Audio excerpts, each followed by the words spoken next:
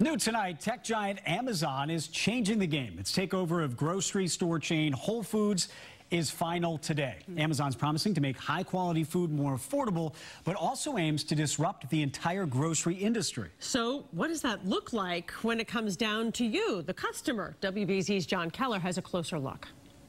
We call it whole paycheck. But as of today, Whole Foods' reputation as a high quality but high priced option is changing, with immediate price cuts in organic items like apples, avocados, and eggs, and the promise of more to come, especially for customers of Amazon Prime, the free shipping service that's already helped the massive online retailer upend the status quo of the publishing industry. Maybe it'll go down to half a paycheck instead of whole paycheck. And while Whole Foods customers may be rejoicing, what about the rest of the retail food world? I think the grocery business is in tough shape. If you are not Walmart, which is the largest brick and mortar retailer with 20% market share in grocery, or Amazon, the biggest online retailer. We've seen this movie before. Whole Foods is a minor player in the industry right now, but so was Netflix before it crippled the movie rental business, and iTunes before it decimated CD sales. No wonder stock prices for the six largest food retailers slumped on the news of the Whole Foods price cuts.